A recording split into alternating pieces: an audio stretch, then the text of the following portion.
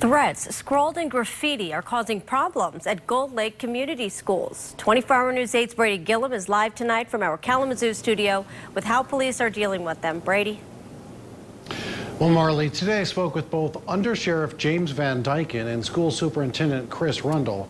They both told me this latest graffiti threat that was found in the middle school turned out not to be credible.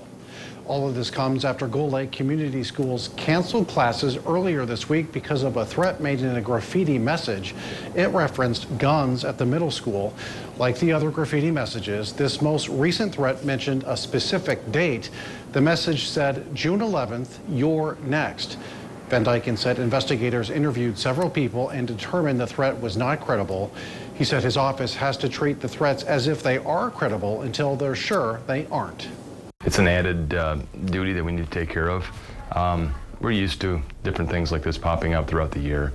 This is not this, you know, not an isolated incident. It happens frequently during the year. Um, this just happens to be at the end of the year this time.